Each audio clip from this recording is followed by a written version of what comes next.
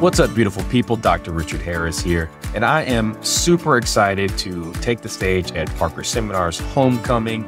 And it's going to be an amazing weekend full of fun, fellowship, and education as we strive to improve ourselves and the ones around us by embodying Parker's principle of loving service. I'm going to be talking to you about my journey through healthcare, how I started off eager and ambitious and really saw people get better and then they got worse. And I had to figure out why.